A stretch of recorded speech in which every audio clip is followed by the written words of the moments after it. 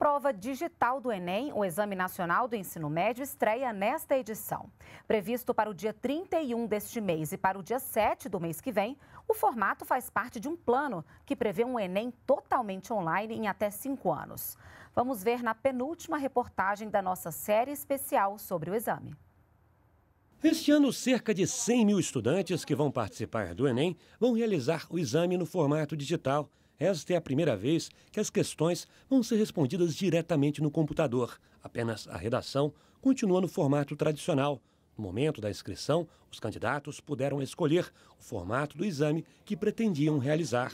As provas digitais vão ser aplicadas em dias diferentes do Enem impresso. Para evitar distorções entre o exame de papel e o digital, foi adotado um programa que identifica assimetrias entre as provas e faz um balanceamento do valor atribuído a cada questão, para que os testes tenham o mesmo nível de dificuldade. A experiência desse ano é mais uma etapa do projeto que tem como objetivo aplicar o Enem apenas no formato digital.